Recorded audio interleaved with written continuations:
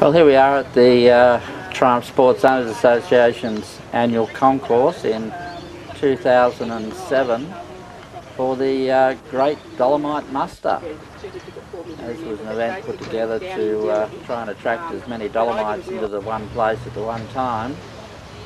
I forget the number, I think it was 14 or 15 cars uh, showed up for this event and uh, that was a big number for Dolomites, they're not all that common. Um, the usual annual concourse might attract one or two. Some very nice cars here, race cars, rally car, and uh, road cars, under restoration cars. Uh, good to see them all out and in one place at one time. the passage of time, of course, has diminished the number of few by a few. Some of these cars uh, are no longer in existence. Others have disappeared into the ether. We don't quite know where they are. Um, not sure where that one's got to. This one's still floating around.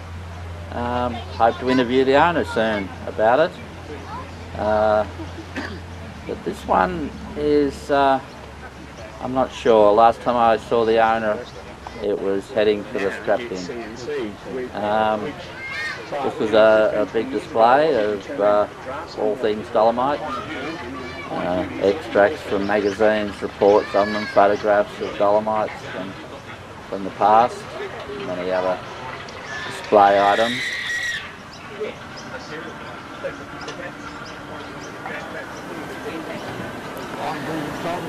And uh, the trophies that would be handed out for the day for attendance and uh, I think there was a people's choice of the best car there.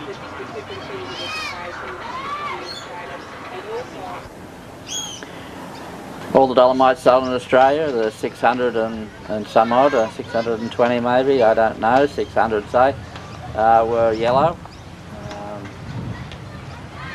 of course, uh, cars have been perhaps imported individually of a different colour. They were sold in England in all sorts of colours. Um, others, of course, have been painted in different colours. The race cars, of course, were, uh, this car here was a, an old Group C race car, raced at Bathurst, originally brought out by Ron Hodgson. One next to it was built in Australia, but a Ron Hodgson car. Nice green one here, came all the way up from Victoria. Uh, red car doesn't exist anymore, it's gone to its maker. Um, it really was great to see all these dollies out and about. Uh, nothing like this has happened since this event. Um, hard pressed getting two or three together these days. Not sure where they're all gone. I've only got one left these days, so uh, yeah, it's the plight of the old classic car. A lot of them probably still exist, sitting in sheds somewhere. Nice Group C race car there. This one's under restoration. Nice looking paint job on it.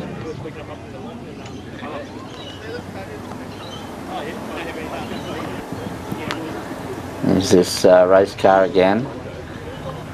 Uh, from memory at this point in time it was a turbocharged car mighty quick.